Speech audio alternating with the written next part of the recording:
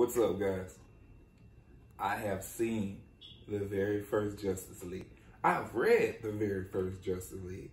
Now they didn't spend all this money on all of the things about the movie that you didn't see. Okay?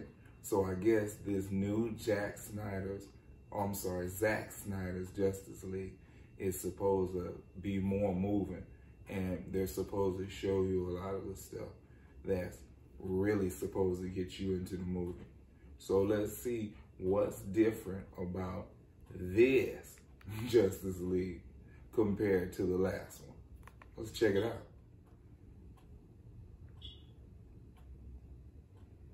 Zack Snyder's Justice League.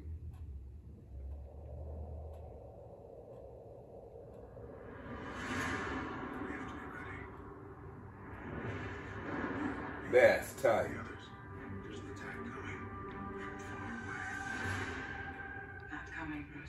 They're already here.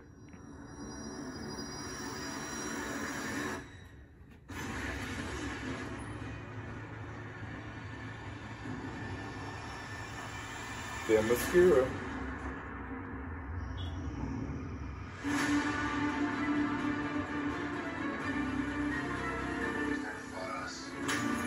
Aquaman, Cyborg, Wonder Woman.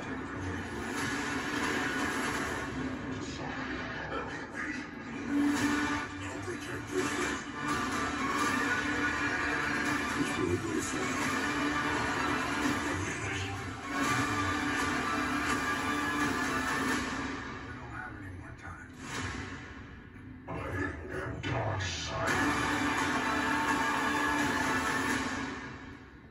go. Is that who I think it is? Dig that. They never showed that one in the last one.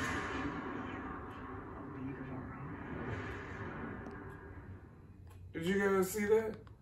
They actually showed the Joker.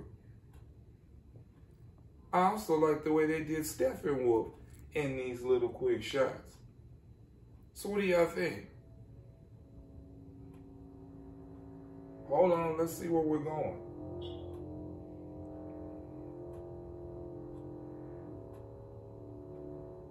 So it's supposed to come out 31821.